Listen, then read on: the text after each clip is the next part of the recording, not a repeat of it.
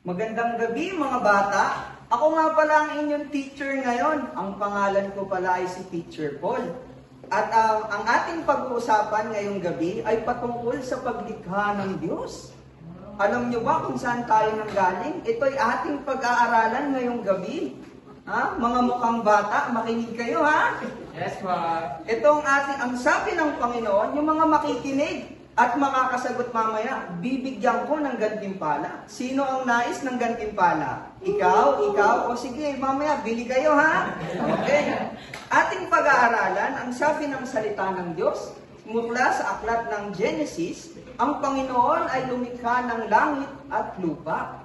At dito ay walang hugis at puro kadiliman. Kaya ang ginawa ng Diyos, siya ay lumikha ng liwanag, light, wow, kaya pala may liwanag. Hindi pala yung Miraiko yung may gawa, si Lord pala, di ba?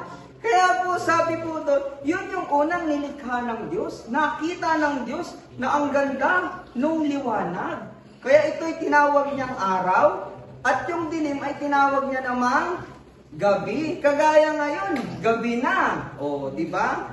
Kaya yun yung unang araw ng paglikha ng Panginoon. At yung ikalawang araw naman, na nilikha ng Panginoon ay ang kalawakan. Doon pala galing yun, yung kalawakan. Yung nakikita nyo kung nasaan yung mga stars, yung mga moon, yan yung kalawakan na nilikha ng Panginoon sa ikalawang araw. Ang sabi ng Panginoon, ang tubig sa ilalim ay magpunta sa isang lugar at ah, doon ay ah, so, ah, ang kalawa ah, ang tubig ay maghati mula sa ah, patungo sa itaas at sa ibaba at nagkaroon ng kalawakan. Kaya pala nagkaroon ng kalawakan, puro tubig lang pala dati.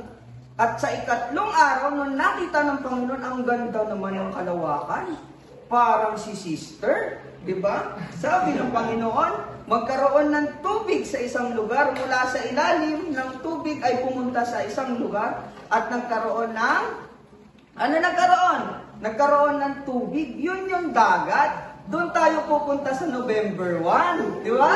Oo. Tapos sabi ng Panginoon, magkaroon ng tuyong lupa o dry land. Doon po nagsimula ang mundo o yung earth. Kaya pala tapos na nagkaroon na po ng earth, lumabas doon yung yung ah, yung mga damo, yung mga herb, tapos ah, yung puno na nagbubunga ng prutas, doon pala galing yung mansanas at kamyas, pati sitaw at kalabasa. Doon pala galing yung bahay kubo. Ano po? Sabi ko ng salita ng Diyos.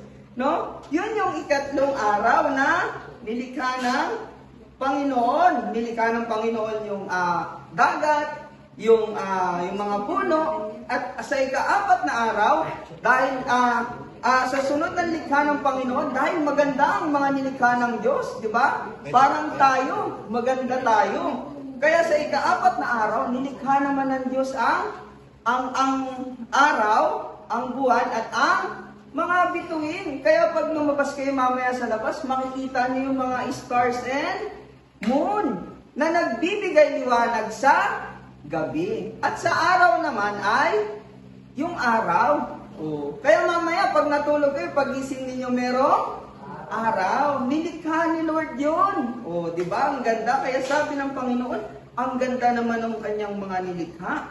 At sa ikalimang araw ay nilikha naman ng Panginoon ang ang mga ah, isda doon sa dagat. Doon pala yun nakatira yung isda sa dagat. Opo.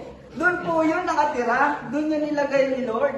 Yung mga tilapia. Kaya meron palang tilapia mamaya sa bahay.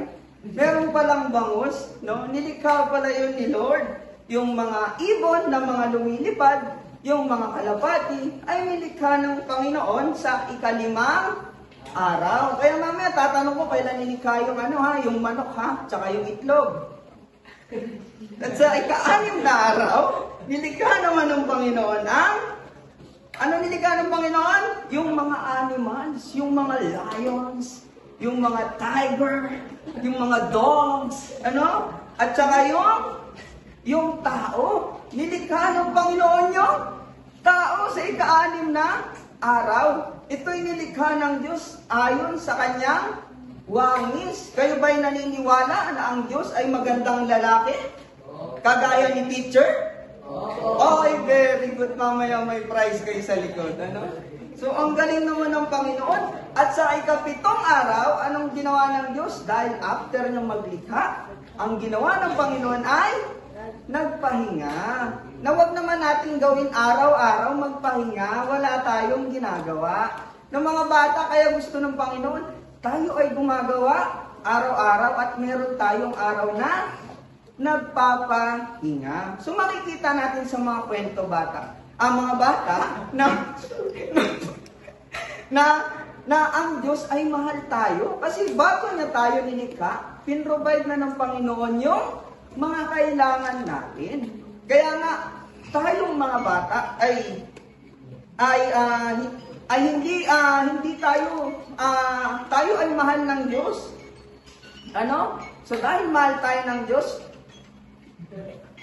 nais ng Diyos na ah, atin siyang purihin. Nag-provide ang Panginoon ng ah, mga pangangailangan natin. Love tayo ni Lord. Meron tayong mga araw, liwanag, meron tayong mga bahay, tanan. Lahat yan ay bigay ng Panginoon sa kanyang paglikha. At tayo ngayon ay patungo ng impyerno. Dahil tayo sumuway sa Panginoon, kailangan ngayon natin si Jesus. Kaya nag-provide ulit ang Panginoon ng tagapagligtas. Kaya para hindi tayo pupunta doon sa ah, impyerno, ang kailangan natin, tanggapin natin si Jesus bilang tagapagligtas. Na nagpapakita din naman na sa paglikha ng Diyos ay tayo'y kanyang inibig.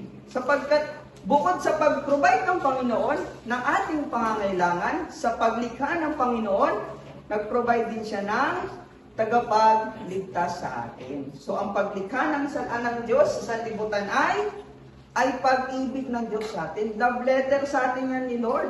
Kaya ating itong tatandaan at aalalahanin. Ang ating pong memory verse ngayong araw ay Genesis 1.1. In the beginning, God created the heaven and the earth. At yun lamang po, mauubusan na ako ng oras. Baka mabawasan ako. Bye-bye!